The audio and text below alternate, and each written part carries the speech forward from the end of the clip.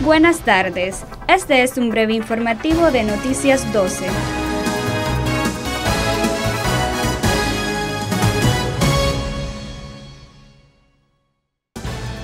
Cristiana Chamorro recurre por inconstitucionalidad contra ley de ciberdelito. El Salvador se prepara para las elecciones legislativas el domingo.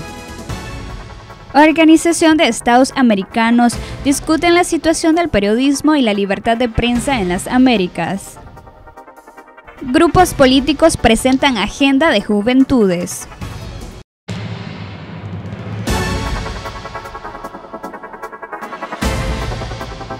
Espere la ampliación de esta y otras informaciones a las 6 de la tarde.